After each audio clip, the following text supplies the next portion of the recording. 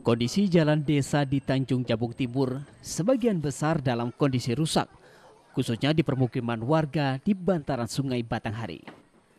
Dana desa dan anggaran dana desa yang diberikan pusat dan daerah belum direalisasikan untuk memperbaiki infrastruktur dasar daerah. Seperti jalan yang ada di Dusun Salek, Desa Kuala Dendang, Kecamatan Dendang. Kondisinya sudah sangat memprihatinkan karena jalan yang terbuat dari kayu sudah banyak yang bolong dan lapuk.